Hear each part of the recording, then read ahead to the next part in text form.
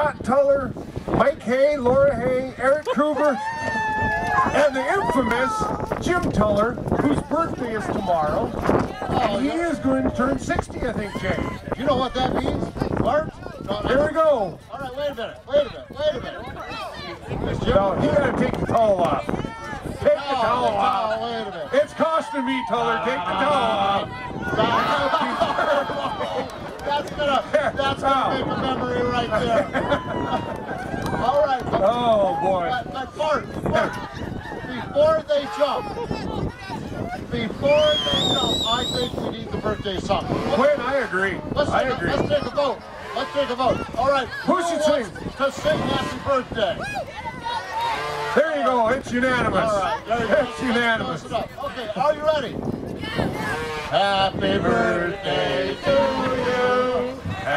Birthday to you. Happy birthday to Jim. Happy birthday to you. All right. Five, four, three, two, one, go!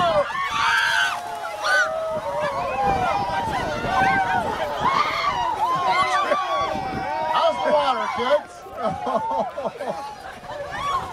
Now, I just got to tell you, there's certain things you shouldn't see a 60-year-old do.